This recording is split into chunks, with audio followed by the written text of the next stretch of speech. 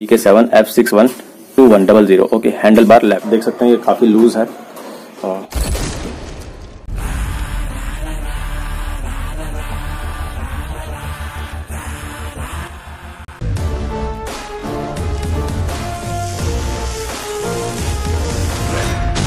hey guys welcome back to my channel my name is Sarfaraz और आप देख रहे हैं ऑल द थिंग टेक दोस्तों जैसा कि मैंने अपनी लास्ट वीडियो में इसकी अनबॉक्सिंग और इसकी साइज़ का मैंने आपको वीडियो दिखाया था तो चलिए आज की वीडियो में शुरू करते हैं अपने बाइक पल्सर 150 में, जो कि मैंने पल्सर 180 में मॉडिफाई की हुई है। आज हम उसमें R one five version three का क्लिप ऑन हैंडल बार अपनी बाइक पल्सर वन में इंस्टॉल करते हैं ओके तो चलिए शुरू करते हैं वीडियो शुरू करने से पहले एक चीज़ और दोस्तों दोस्तों, इसी तरह की वीडियो मैं अपने इस चैनल पर लेकर आता रहता हूँ। वीडियो अच्छी लगे तो प्लीज़ लाइक ज़रूर कर दे, साथ ही अपने दोस्तों को भी शेयर करें और अगर आप मेरे चैनल पर नए हैं तो प्लीज़ मेरे चैनल को सब्सक्राइब कर बेल आइकन पर भी क्लिक कर दे, जिससे मेरी हर नई वीडियो की नोटिफिकेशन आपको मिल जाए और सबसे पहले आप मेरी वीडियो देख पाए। तो चलिए वीडियो शुरू करते हैं। दोस्तों, शुरू करते हैं। आज का अपना मॉडिफिकेशन पल्सर 150 में, जो मैंने पल्सर 180 में मॉडिफाई किया हुआ है, उसमें R one five version three के इस क्लिप ऑन हैंडल बार को इंस्टॉल करने का प्रोसेस शुरू करते हैं। तो निकाल लेते हैं बाहर। और इसको चेक करते हैं। कोई सा भी एक ले लेंगे दोस्तों। और इसको चेक कर लेंगे। ये हो गया। मैंने इसमें एक बोल्ट अपनी तरफ़ से लगा रखा है। ये अपने को काम आएगा टी प्लेट के ऊपर। ओके ये रहा मेरा पल्सर 180 का एक सॉकअप देख सकते हैं ये काफ़ी लूज है। तो अब हमें इसको टाइट कैसे करना है? मतलब इसको फिट कैसे करना और दूसरा प्रोसेस इसका एंड बार यहाँ पे जो एंड बार लगता है उसको बनाने की का प्रोसेस करेंगे। ओके उसके लिए मैं अपने ये पुराने दो क्लिप्स ले आया हूँ। ये वाला ब्रैकेट पल्सर 180 का इंस्टॉल किया था तो वो थोड़ा बड़ा था। तो उसमें से मैंने इसको कट किया था। अब आज तीन साल बाद मुझे इसकी ज़रूरत पड़ी दोस्तों। एंड बार के लिए मैंने। मैं इसका यूज़ करने वाला हूँ। ये एल्यूमिनियम के हैं और ये थोड़े से साइज़ में मोटे हैं तो इसकी घिसाई करूँगा। ये तो मैं निशान लगा देता हूँ। आप देख सकते हो। इतना और यहाँ से।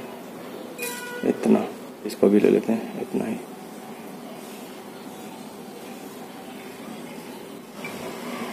ओके चलिए इनको कट कर लेते हैं ओके जहाँ पे मैंने निशान लगाया।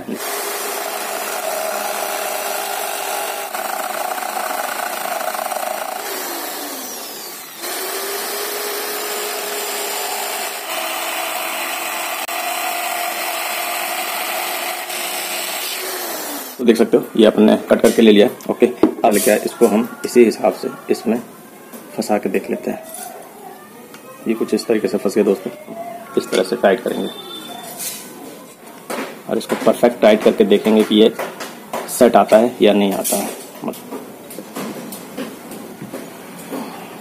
दोस्तों, देख सकते हैं, मैंने इसको फुल टाइट कर दिया है, लेकिन उसके बावजूद भी ये ढीला देखते हैं, और कोई जुगाड़बाजी करके। तो ये जो रिंग मैंने बनाई, ये फेल हो गई, और ये मैंने एक और रिंग बनाई थी दोस्तों, इस लोहे की पत्ती से। तो इसकी थिकनेस कुछ ज़्यादा मोटी हो गई हालाँकि बन तो लगभग ये भी गया था, लेकिन थोड़ी सी प्रॉब्लम आ रही थी, फिर मुझे इसको घिसना पड़ता, बहुत सारे काम करने पड़ते तो वीडियो लंबी हो जाती तो मुझे मिल गई, मेरे पास रखी हुई कुछ रिंगे, ये देख सकते हो, ये अपने हॉस पाइप वगैरह में ये रिंगें लगी होती हैं जो बड़ी गाड़ियों की हॉस पाइपें होती हैं तो इनको जब मैंने देखा कि मैं अगर इनको दो दो करके सेट कर देता हूँ तो इसकी चौड़ाई भी बिल्कुल सही आ जाती है, और वहीं इसमें एडजस्टेबल रिंग भी है तो बस अपने को ये कट करना है, इसका ये जो उठा हुआ पॉइंट है, इसको कट करना है, और इधर से इसको कट करना है तो चलिए फटाफट से, मैं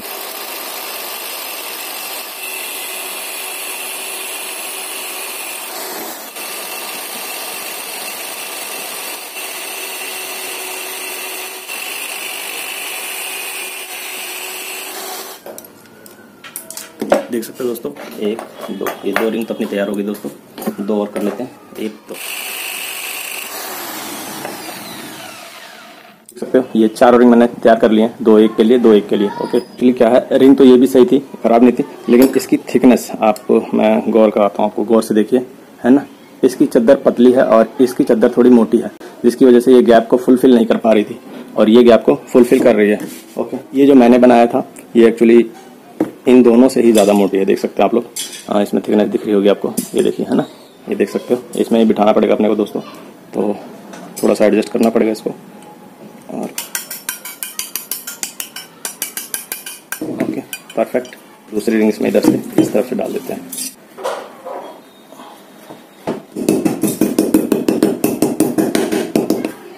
परफेक्ट हो गया दोस्तों, देख सकते हो। जितनी हमें चाहिए थी, जितने की हमें ज़रूरत थी, उतना ही इसमें गैप है। हमने बिठा लिया है।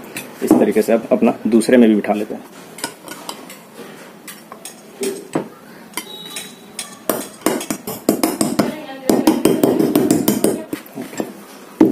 इस तरफ़ से।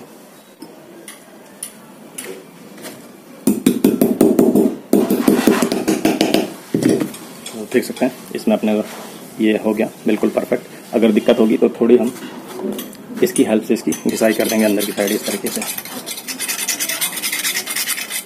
तो इसको रिमूव कर लेंगे। अच्छे से घिस के तो बनाना है। इसका ये वाला पोर्सन ये देखें, है ना? ये थोड़ा सा ज़्यादा मोटा है तो इसको मैं ड्रिल मशीन में लगा करके और इसकी घिसाई कर दूँगा। तो इसको हमने कट कर लिया है ओके अब हम इसकी करेंगे घिसाई। ये देखिए, ये इसमें मैंने अपना वो एलन की लगा लिया है, वो एंड बार वाला ओके और इसकी लगभग थोड़ी घिसाई मैं कर चुका हूँ।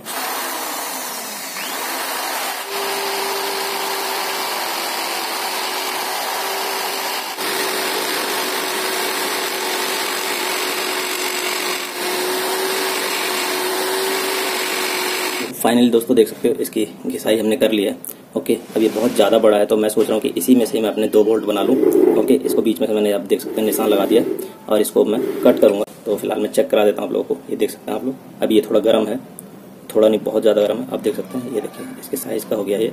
तो इसको बाद में हम पुश भी करेंगे तो अंदर चला जाएगा। ये देखिए, ओके। फाइनली दोस्तों आप देख सकते हो, ये अपने नट हमने बना लिए आप देख सकते हो, ये मैंने बीच में से कट भी कर लिया ये देखिए ओके अब इसको पुश कर देंगे, थोड़ा सा हाथ थोड़ी की चोट से मारेंगे तो ये अंदर हो जाएगा, इसी तरीके एक चीज़ तो कामयाब हुई अपनी मेहनत करते करते ओके और इसके अंदर अपनी पैकिंग तो लगी चुकी है दोस्तों, देख सकते हैं आप लोग। ये देखें, बिल्कुल सेट है परफेक्ट है। ओके दोस्तों, मैं जस्ट एक बार चेक करके देख लेता हूँ कि लुक कैसा आता है। तो देख सकते हैं, ये मेरा पुराना ग्रिप है पल्सर 150 का। ओके इसको मैं इस तरह से लगा ले रहा हूँ अभी। एक नॉर्मली जस्ट चेक लगाया हुआ है। इसको बस जस्ट हल्का सा पुश करके मैं लगा रहा हूँ दोस्तों। ओके और ये है मेरी पल्सर 150 का एंड बार इस तरीके से ओके इसको टाइट कर लेते हैं।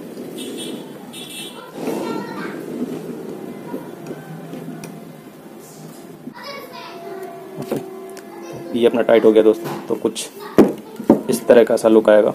टाइट होने के बाद में ये एक्सलेशन पॉइंट अपना हो गया दोस्तों। ओके इंस्टॉल होने पर ये कुछ इस तरीके से लुक देगा। आप देख सकते हैं। मैं इसको परफेक्ट कर दूँगा। अभी बस जस्ट एक सैंपल मैंने आप लोगों को दिखाया है कि इस तरह का लुक आएगा। दोस्तों वीडियो बहुत ज़्यादा लंबी होती जा रही थी, इसलिए आज की वीडियो में सिर्फ़ यहीं तक। इसके आगे का प्रोसेस मैं आपको अपनी नेक्स्ट वीडियो में दिखाऊँगा। मिलते हैं मेरी नेक्स्ट वीडियो में। अपने इस क्लिप ऑन हैंडल बार की पूरी इंस्टॉलेशन वीडियो के साथ। तब तक के लिए गुड बाय टेक कर सलाम